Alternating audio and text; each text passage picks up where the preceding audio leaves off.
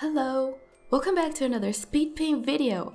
Today I'll be drawing Seraphine from League of Legends. yes, again. well, it all started when I found out that the acoustician, also known as Seraphine's dad, calls her Bear. Isn't that cute? So naturally I had to draw her with bear ears.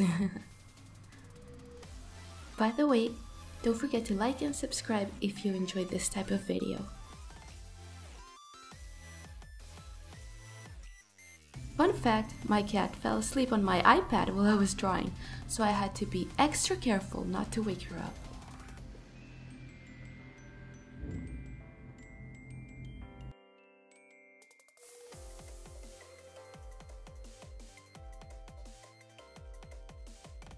Ta-da!